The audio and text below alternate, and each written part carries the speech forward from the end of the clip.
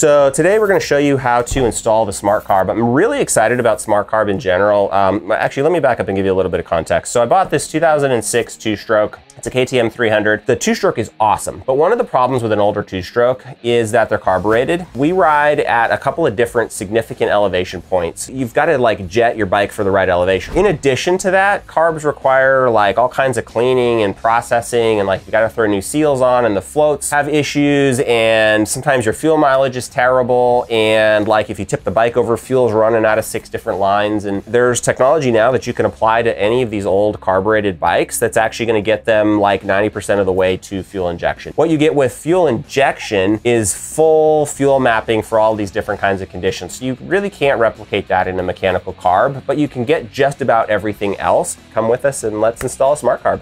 This is a smart carb. It's pretty cool looking. Here's the stock carb that we're gonna be pulling out. We're gonna start by pulling the cap so we can get the throttle cable out. And the needle. We're gonna need to take the adjusting nut off the top comes out. You can release the throttle cable from inside the uh, slide. Now we remove the cover. Done. Next, you're gonna remove the cover of the smart carb. You gotta hold the cover because there's a spring inside. Okay, now we're gonna release it. See, there's that return spring. There's a stop on the end of the return spring, like a, I guess a guide. So we can remove this. And basically it's just the reverse of what we just went through. So we're gonna thread this in. Spring. We've gotta compress it a little in a retaining guide. Keep all that compressed. And then we feed this in and we move it to the side. And there it is. And then we're gonna drop this back in the smart carb and line up the needle. And we're gonna put the cap back on. Carb goes like this between intake boot and the engine. All right, I'm gonna get a screwdriver, pull clamps that hold this in place and get it out of the way. that boot is cracked and fucked up.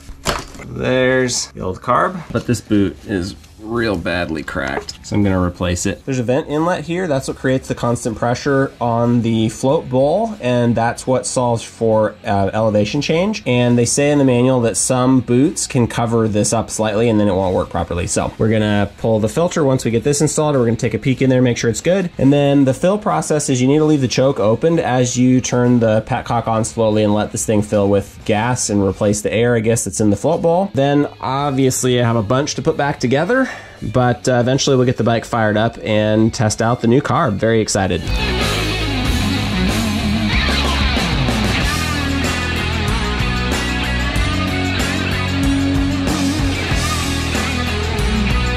when you find extra parts. No idea where it goes. We're gonna hook up the fuel line. I bought extra because I'm gonna route it slightly differently from stock because there's a fuel filter that goes in.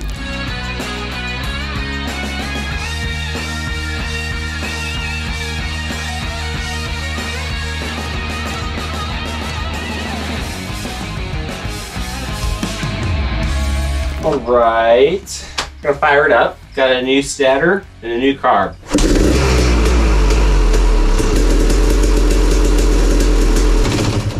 It won't idle, so that's fine. Figure out the carb. And that's the smart carb installed, up and running, and performing fantastically. I've dumped the bike over a few times doing some hill climbs, I've dropped it on the trail, whatever. Fuel will still run out of the gas tank if you get it tipped like upside down, but no fuel's coming out of any of the carb overflow lines, which is really nice. The fuel mixture is easy to adjust. I've played around with it a bit to get it tuned just right for the kind of riding that I do. Fuel mileage is good and consistent. I noticed that I can ride anything from like nine, 10,000 feet, which we did in Kennedy Meadows, to to down here at 2700, all of that range without ever adjusting anything about the carb. It just works. Um, it's not hard to put in. It's not hard to figure out how to adjust it. And before I let you go, we make chin mounts for helmets that you can run your GoPro and or a light. So we just finished the 24 hours of Glen Helen motocross race and most of the guys out there were running our chin mounts and running either a Dango or an Oxbow light. In fact, Brent from American Dirt Rider actually put two Oxbow lights, one on each of these double forked mounts from our chin mounts. We are also now selling a few accessories. So we've got this 90 degree adapter. We've had that up for a little while.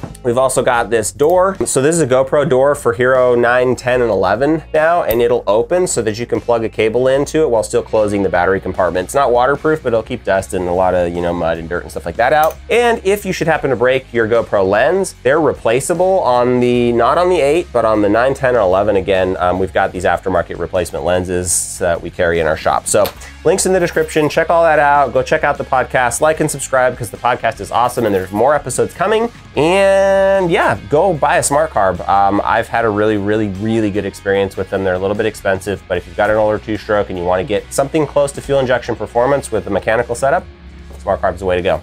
Thanks, guys.